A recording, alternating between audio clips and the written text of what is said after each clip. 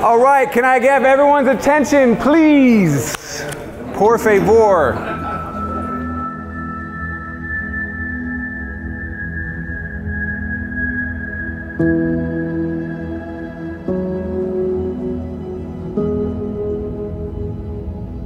My name is Tamian Dysart. I'm one of the co-founders of Think 3D. I want to give you a quick uh, five-minute overview of the program, what's going to happen this evening, and definitely want to get to the meat of, the, of tonight, which is celebrating these young men and women, um, our leaders of tomorrow, and the program and the impact that this program has had on them.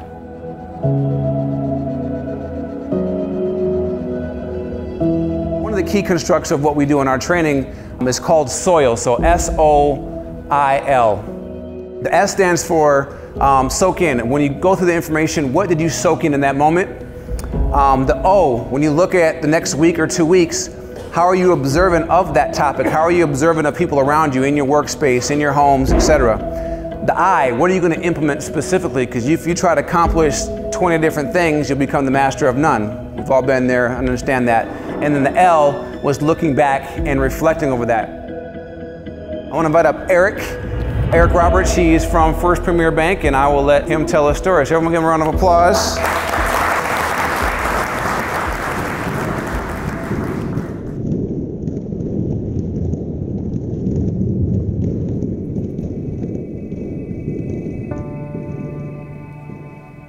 In March, I was presented with an opportunity to take this class. That the reason why we're here today.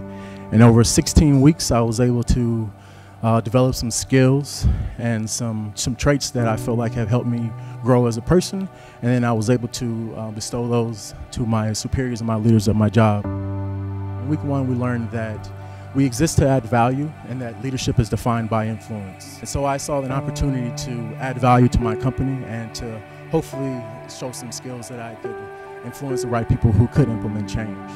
With proper training and being intentional with our, our acts and our behaviors, that we can all be leaders, um, no matter what position we are, uh, whether we're at an entry level at myself or you are the CEO of your company. I'm so thankful for the men of Think 3D and the way they've poured into my life. They've helped to restore confidence in me that I lost personally as a partner and parent, professionally as a life skills coach for Lutheran Social Services, and as a community volunteer. What excites me about this is I'm now able to use my perspective, my insights to pay it forward. I'm honored to be a part of this group. I'm committed to being exactly who I am.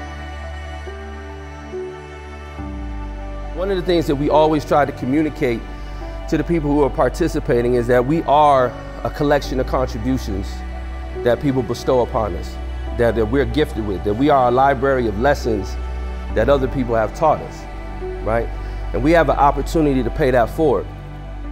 The one thing that you want more than anything is reinforcements. The one thing you want more than anything is the Calvary. Other people who have your same passion, that are ignited by the same things, that are willing to do the work with you so that we can take our city and our community to the next level.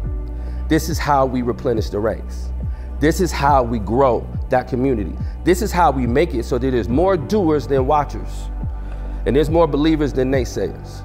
The only way that we change that tide, the only way that we shift what is happening in our community and our world that we see every single day, whether it be in our news, in our social media, in our conversations, there is nothing that we see on a regular basis that is promoted to us or put in front of our faces that suggests that we're moving in the direction that we want to be moving into. This is an opportunity to stem that tide, to change that tail. Invest in leadership. In my personal opinion, I go back and I look and I was like, geez, I missed so much before this class. I missed so much in my life that I didn't notice before. And this was just eye opening for me and maturing, like I said. So if you have a chance to go to this class, take everything from it and share it. We can leave this course and we have all the tools for continuous improvement. Um, continuous improvement is something that I was exposed to probably a year ago, but that's really a lot of what Vaney and Tamian teach. It's great for programs like this to be funded because it brings it brings it, it brings understanding from all different perspectives and outlooks, outlooks and everything. Therefore, you developing these leaders. So when a situation does arise, you have a strong community foundation.